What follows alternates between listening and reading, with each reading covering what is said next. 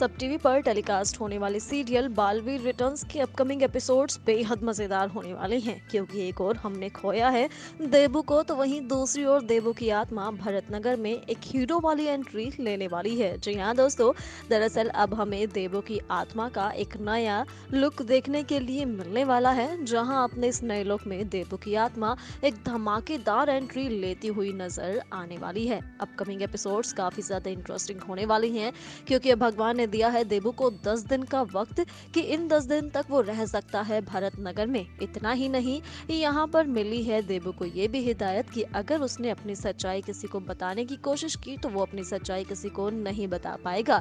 लेकिन अगर वो किसी की मदद करना चाहे अच्छाई के लिए तो वो हर किसी की मदद कर सकता है। वेल well, एक और जहाँ हमें देबू की ये हीरो वाली एंट्री देखने के लिए मिलने वाली है तो दूसरी ओर आप देखेंगे कि अब भरत नगर में रे ने मचाई है तबाही खतरनाक खिलौनों के साथ ही जी हाँ बच्चों के खिलौने, जहाँ हुए चोरी तो यहाँ पर रे ने उन खिलौनों को बना दिया। इतना खतरनाक कि एक के बाद एक ये खिलौने मचा रही हैं भरतनगर में बड़ी तबाही, जिससे विवान है बहुत ही ज़्यादा परेशान।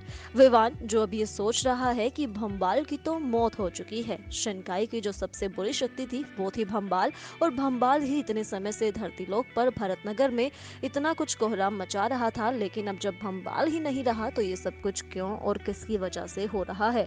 विवान इन सब बातों के चलते है बहुत ही ज़्यादा परेशान और यहाँ आप देखेंगे कि विवान अब अपने इन सवालों का जवाब ढूँढने के लिए जाएगा वीरलोक, जहाँ वीरलोक जाने के बाद उसे कुछ नई बातें भी पता चलने वाली हैं। जी हाँ विवान जाएगा वीरलोक जहाँ वो शौर्य से बात करने की कोशिश करेगा, लेकिन यहाँ उसे पता चलेगा कि शौर्य तो अखंड समाधि ले चुका है।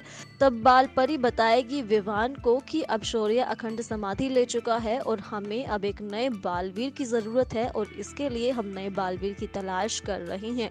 और यहाँ आप देखने वाले हैं काफ़ी कुछ मज़ेदार। जब बाल परी विवान को ये सब बताती हुई आएगी नज़र तो विवान भी थोड़ा बहुत इमोशनल होगा, शॉक्ड होगा और कहीं ना कहीं परेशान भी होगा कि आखिरकार ये नया बालवीर बालवीर कौन होगा? वो नए बालवीर को किस तरह से ढूंढेंगे? अब अपकमिंग एपिसोड्स में तो देखना यही मज़ेदार होगा कि आखिरकार किसे नया बालवीर बनाया जाएगा, क्या वो रे होगा? क्योंकि अब हर किसी को यही लगेगा कि रे ही बालवीर की ज़िम्मेदारी ले सकता है। लेकिन इससे भी ज़्यादा मज़ेदार देखना तो ये होगा कि हमारे देबू की आत्मा जो वापस लौट आई है व्हाइट कलर के सूट बूट में बाइक पर बैठे हुए, बालवीर लेगा धमाकेदार एंट्री और करेगा लोगों की मदद। यानी जो भी मुसीबत में फंसा होगा, एक अनजान शक्ति यानी देवो की आत्मा उन लोगों की मदद करती हुई नज़र आएगी और हर कोई इसी को देखकर थोड़ा सा हैरान होगा कि ये सब कुछ किस तरह से हो रहा है। वो आने वाले एपिसोड्स होंगे काफ़ी ज़्यादा मज़ेदार तो देखते रहिए सब टीवी पर बालवीर रिटर्न्स